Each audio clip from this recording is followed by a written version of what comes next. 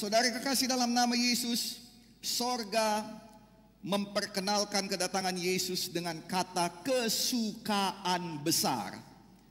Dan ini adalah kata kesukaan besar yang pertama sekali dituliskan di Alkitab yang membuat perjanjian lama berakhir dan memulai perjanjian baru di Alkitab saudara. Haleluya. Lukas 2 ayat 10 sampai 12 malaikat langsung berkata kepada manusia, yaitu kepada gembala di padang bersama domba-dombanya, "Jangan takut, sesungguhnya aku memberitakan kepadamu kesukaan besar untuk seluruh bangsa. Hari ini telah lahir bagimu juru selamat yaitu Kristus Tuhan di kota Daud. Dan ada tandanya. Ketika Yesus lahir ada tandanya. Ini tandanya bagimu, engkau akan menjumpai engkau akan menemui, engkau akan bertemu dengan Yesus sendiri. Dengan seorang bayi dibungkus dengan lampin dan terbaring dalam palungan.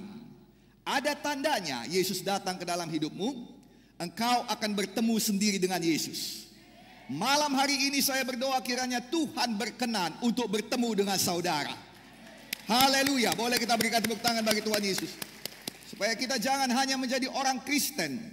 Jangan hanya Kristen di KTP, Jangan hanya datang ke gereja, tetapi tidak pernah ketemu dengan pemilik rumah sendiri. Saya berdoa Kristus ada dan Kristus mau bertemu dengan kita. Dan setiap kali kita bertemu dengan Kristus ada kesukaan besar. Ketika Yesus datang semua berubah. Orang Israel mengaku ketika Yesus datang dan berbicara kepada mereka. Mereka berkata siapa dia ini? Karena dia tidak berbicara seperti yang lain. Kata-katanya mengandung kuasa Mengapa? Karena dia memperkatakan firman dan apa yang dikatakannya menjadi kenyataan. Saya berdoa hari ini firman datang pada saudara. Haleluya. Haleluya.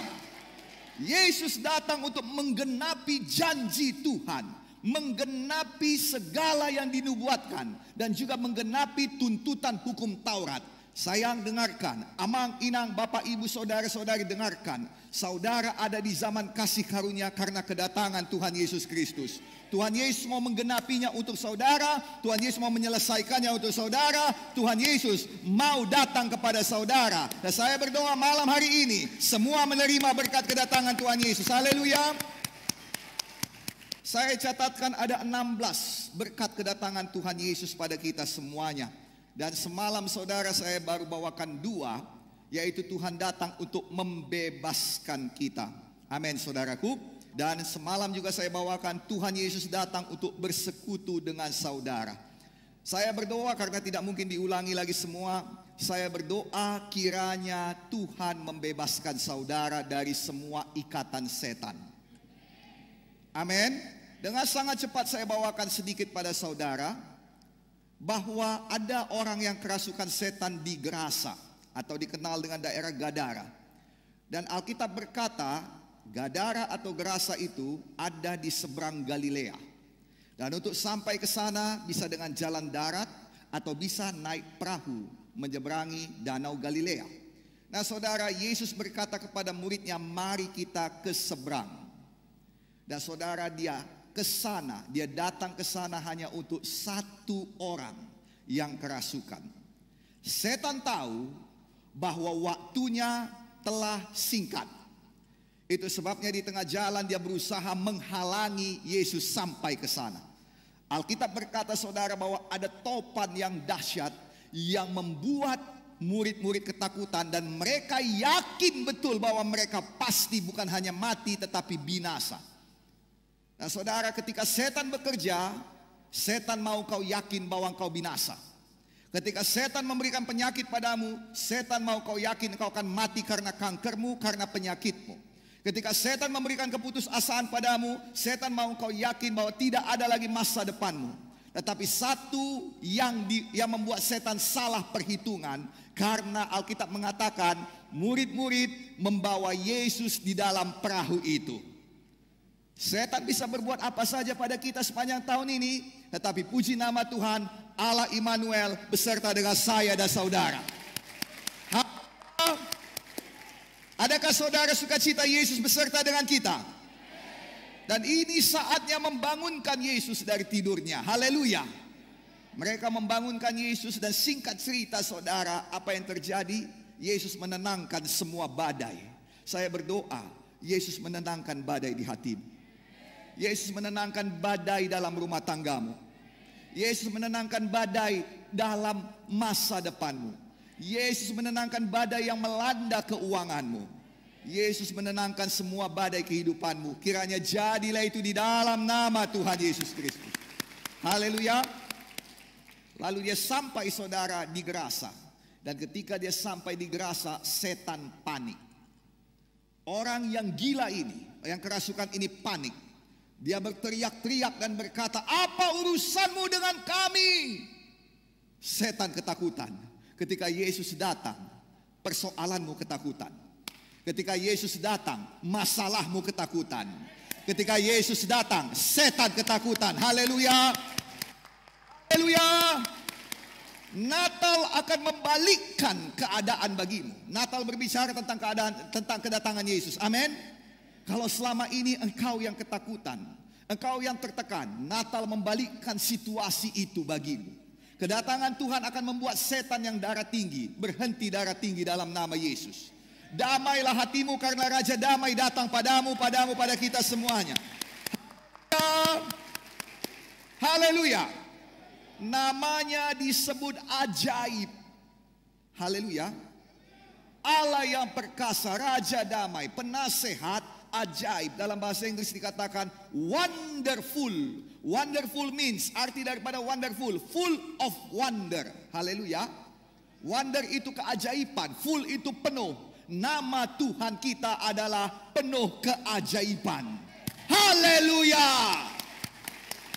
Tuhan siapa yang punya nama penuh keajaiban? Nama Yesus. Nama Tuhan yang kau datang hari ini untuk beribadah kepadanya adalah penuh keajaiban. Saya berdoa kau pulang dengan kepenuhan keajaiban Tuhan. Dalam nama Yesus. Haleluya. Natal membalikkan situasi. Setan panik. Dia berteriak-teriak. Dia ketakutan. Waktunya telah singkat. Saya beritahu pada saudara setiap kali Natal datang, setan diingatkan. Waktunya telah singkat. Setan tahu cengkramannya tidak lagi kuat. Setan tahu pegangannya sudah mengendur. Saya berdoa hari ini engkau juga tahu. Karena setan tahu bahwa dia tidak bisa pegang engkau lagi. Tapi bah, haleluya, kita berikan dulu tepuk tangan bagi Tuhan Yesus. Tapi banyak anak Tuhan yang tidak tahu kalau cengkraman daripada ketakutan itu sudah melepas. Banyak anak Tuhan yang tidak tahu kalau cengkraman penyakit itu sudah mengendur.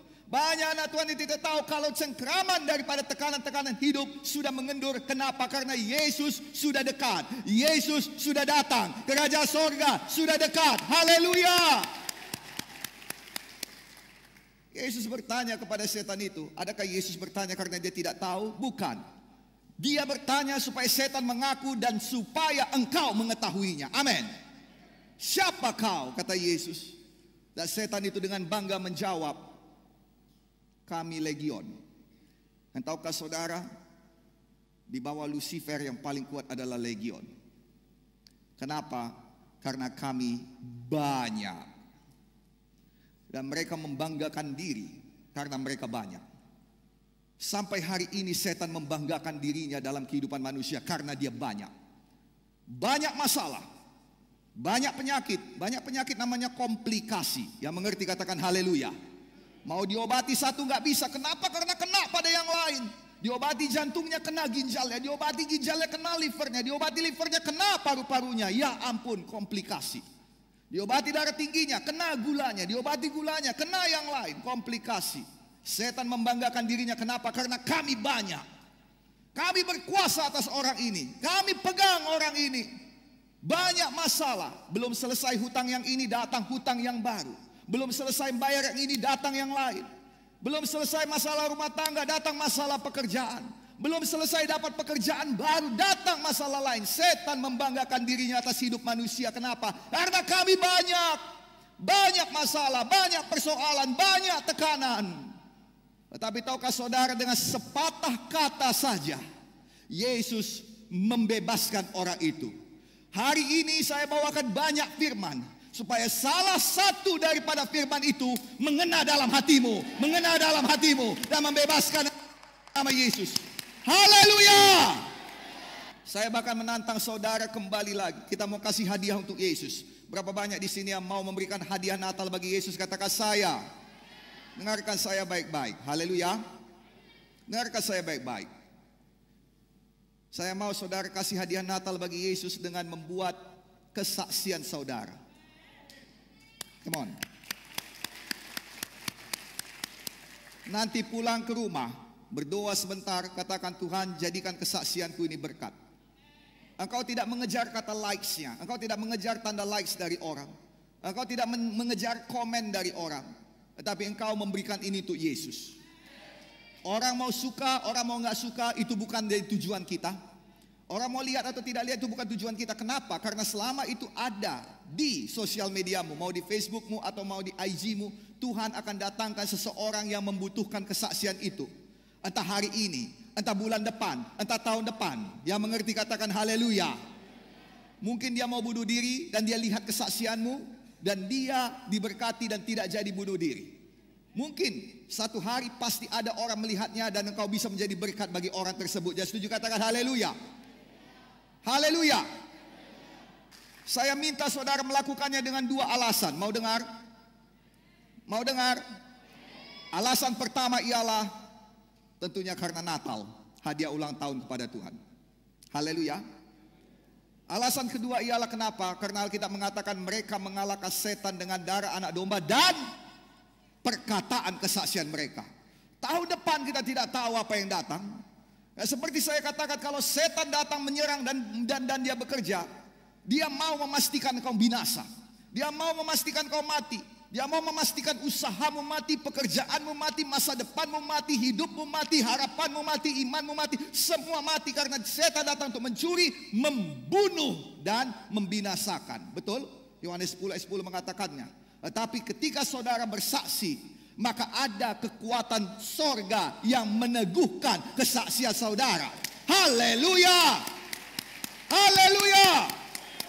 Jadilah orang yang suka bersaksi. Haleluya! Nah saudara kasih dalam nama Yesus, saya ajak saudara, ayo lakukan. Inang, ayo lakukan. Opung, ayo lakukan. Opung-opung boleh berkata, saya bisa begini hari ini panjang umur karena Tuhan. Anda mau panjang umur, ikut Yesus. Haleluya. Kiranya Tuhan memberkati kesaksian saudara. Dalam nama Yesus berkat itu dikembalikan lagi berganda-ganda pada saudara. Haleluya. Yang suka cita katakan amin. Nah Bapak Ibu Saudara-saudari, hari ini kita akan melihat lagi bahwa Yesus datang untuk hal yang paling penting. Yaitu untuk menyelamatkan kita. Semua berkata datanglah Tuhan Yesus. Katakan selamatkanlah saya. Haleluya. Amin untuk itu. Nah, Bapak Ibu saudara-saudari yang dikasih oleh Tuhan Yesus Kristus, Tuhan Yesus datang untuk menyelamatkan kita semuanya. Lukas 19 ayat 10 berkata sebab anak manusia Yesus datang untuk mencari dan menyelamatkan yang hilang. Tuhan Yesus datang untuk mencari dan menyelamatkan yang hilang. Tuhan Yesus mengatakan hal ini juga beberapa kali. Dia sendiri yang mengatakannya. Markus 2 ayat 17 salah satu dikatakannya, Yesus mendengar dan berkata kepada mereka, bukan orang sehat yang memerlukan tabib, tetapi orang sakit. Aku datang bukan untuk memanggil orang benar, melainkan orang berdosa. Dan memang kedatangan Yesus untuk menyelamatkan ini bukan hanya Yesus yang mengatakannya, tetapi banyak orang lain juga mengatakannya. Yohanes sebagai forridersnya, pembuka jalan baginya, mengatakan dalam Yohanes 1:29, keesokan harinya Yohanes melihat Yesus datang padanya dan ia berkata, "Lihatlah anak domba Allah yang menghapus dosa manusia." Nah, Saudara, semua kita orang baik. Orang baik di sini katakan, "Saya ya Tuhan." Saya suka cita gereja ini penuh orang baik. Amin. Bukan berarti orang jahat tidak boleh datang, silahkan, tapi engkau tidak boleh terus-terusan jahat. Amin. Itu sebabnya Alkitab mengatakan semua kita telah berdosa. Dan masalahnya satu, dosa tidak bisa kita selesaikan. Ke manakah seorang berdosa pergi. Kalaulah saudara dalam membela diri saudara, tertikam saudara anak orang, lalu dia meregang nyawa dan mati. Ke manakah engkau lari? Adakah pengampunan di kepolisian? Di kepolisian tidak ada pengampunan yang ada keadilan. Dan keadilan manusia datang dari penghukuman. Yang mengerti katakan amin. Dan inilah konsep daripada Alkitab juga. Konsep Alkitab memang keadilan mendatangkan kehukuman apabila engkau tidak bertobat. Tapi apabila engkau bertobat Alkitab berkata ada kasih karunia Tuhan yang mengampuni semua dosa sehingga engkau tidak perlu dihukum. Ini ajaib. Ini ajaib. Ayo dong, boleh beri tepuk tangan bagi Tuhan Yesus. Dengarkan, saya mengampuni engkau, tapi pengampunan saya tidak sanggup melepaskan engkau dari jerat dosamu. Yang mengerti katakan amin. Yang mengerti katakan amin. Semua orang di dunia ini bisa mengampuni engkau. Semua bisa mengampuni engkau, tetapi tidak ada yang bisa melepaskan engkau daripada jerat hukumanmu. Betul? Hal itu dibuktikan apa? Dari rasa bersalahmu. Rasa bersalah itu akan mengejar engkau terus karena setiap dosa yang kau perbuat. Tidak sanggup seorang manusia pun, mau dia hakim agung, mau dia hakim di mahkamah agung sekalipun, tidak sanggup membebaskan engkau daripada jerat dosa yang kau buat. Walau dia mengetuk palu tiga kali dan berkata diampuni, diremisi, dibebaskan, tapi tidak ada yang bisa mengampuni dosa sampai datang hakim di atas segala hakim, raja di atas segala raja, Tuhan di atas segala Tuhan dan berkata, "Aku menjauhkan pelanggaranmu bagaikan timur dan barat sehingga tidak bisa bertemu lagi dan sekarang mari kita berperkara bahwa dosamu yang merah patna itu bisa disucikan putih seperti salju." Haleluya! Mengapa bisa disucikan? Karena aku sudah datang menggantikan engkau. Satu hal yang betul-betul menunjukkan keadilan Tuhan dilaksanakan. Setiap dosa harus dihukum, tapi bukan engkau lagi yang dihukum. Ada Tuhan kita yang dihukum karena dosa-dosamu. Yang mengerti katakan amin. Setan tidak bisa lagi menuduh. Tetapi saudara, saudara bisa dibebaskan. Dengar. Hanya dengan cara itu hukum tetap dijalankan. Setan nggak bisa protes karena dia dihukum, sebab Yesus telah dihukum bagimu, dan engkau dapat kehidupan baru. Engkau dapat perjanjian baru. Haleluya! Haleluya! Ataukah saudara mengapa dia datang? Karena kita berkata engkau harus mati akibat dosamu. Engkau harus mati akibat dosamu. Saya dengarkan baik-baik. Allah tidak dapat mati. Itu sebabnya dia harus jadi manusia supaya dia bisa mati bagimu. Supaya engkau beroleh hidup yang kekal di sorga. This is wonderful. Ini ajaib. Itu sebabnya buka hati pada Yesus. Dosa ada obatnya. Nah dengar. Dosa itu dialah yang membuat segala sesuatu sukar kepadamu. Saya ulangi. Bukan saya yang membuat sukar. Bukan orang tuamu membuat sukar. Bukan pacarmu bikin susah. Bukan dunia ini bikin susah. Tapi dosa yang bikin susah. Ketika akarnya dicabut, maka semua pohonnya pasti mati. Ketika akar dosa itu dicabut daripadamu, kesusahan itu pun akan hilang satu persatu daripadamu. Tidak ada seorang pun yang dapat menyelesaikan dosa. Itu sebabnya saudara tangisan orang dari dahulu ialah apa? Supaya adalah yang menyelesaikannya. Tetapi Yesus datang untuk menyelesaikannya. Nah dengar, yang pertama sekali kita lihat bagaimana Tuhan Yesus menyembuhkan orang sakit dan mengampuni dosa-dosa. Ketika Yesus mengampuni dosa, maka sakitnya pun sembuh. Amin. Seorang lumpuh datang pada Yesus, dan Yesus berkata padanya, dosamu sudah diampuni. Dia jalan. Orang-orang protes. Kenapa ini orang mengampuni dosa, hanya Allah yang dapat mengampuni dosa. Lalu Yesus berkata, supaya kau tahu di dunia ini anak manusia berhak mengampuni dosa. Apa yang mau ditujukan Tuhan sebenarnya bukan kata-kata itu yang mau tujukan Tuhan supaya saudara mengerti dan saya mengerti. Ketika dosa diselesaikan, penyakitmu juga selesai. Masalahmu juga selesai. Tekanan hidupmu juga selesai. Kegagalanmu juga selesai. Kemiskinanmu juga selesai. Haleluya! Haleluya! Hari ini selesaikan masalah dosa. Yesus datang untuk mengampuni dosa kita.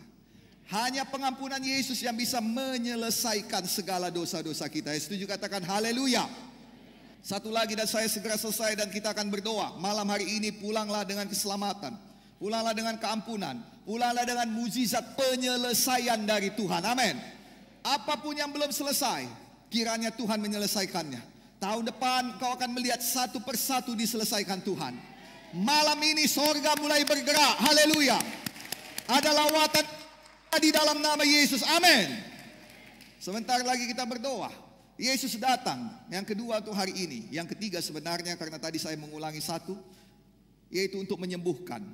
Apa pun penyakit badaniah saudara. Apa pun penyakit batiniah saudara. Dalam nama Yesus. Pulanglah dengan kesembuhan. Pulanglah dengan kesehatan. Pulanglah dengan kelegaan. Pulanglah dengan mukjizat Tuhan. Haleluya. Matius 8 ayat 7.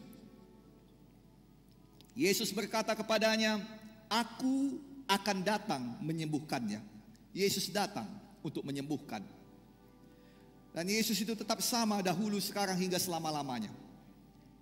Malam ini Yesus datang untuk menyembuhkanmu. Untuk menyembuhkanmu. Kesembuhan itu mudah ketika ada Yesus. Malam ini apamu yang susah? sakit muka susah, susah bernafas, oh COVID lah, COVID. Sayang belum tentu karena COVID, bisa jadi karena maskermu ketebalan. Haleluya. Apa ibu yang susah? Penyakitmu, jiwamu, hatimu, batinmu, badanmu. Saya berdoa malam ini Yesus datang. Saya tutup dengan satu ayat. Yang suka cita katakan haleluya. Matius 12 ayat 15. Banyak orang mengikuti Yesus dan ia menyembuhkan mereka semuanya. Siapakah yang disembuhkan Yesus? Matius 15 ayat 30. Banyak orang yang berbondong-bondong datang kepadanya membawa orang lumpuh, orang timpang, orang buta, orang bisu dan banyak lagi yang lain. Mereka meletakkannya pada kaki Yesus dan Yesus menyembuhkan mereka semuanya. Alkitab berkata dia menyembuhkan semuanya. Malam ini apa pun sakit saudara. Baik di tubuh, baik di pikiran, baik di hati. Kiranya Yesus berkenan datang. Datanglah Tuhanku, sembuhkanlah. Dalam nama Yesus semua pulang dengan muzizatnya Pulanglah dengan mukjizat Natal dalam nama Yesus. Haleluya. Yang diberkati pada malam Natal ini katakan saya ya Tuhan. Ayo kita bangkit berdiri semuanya. Bapak Ibu, saudara-saudari, amang inang mari bangkit berdiri. Haleluya.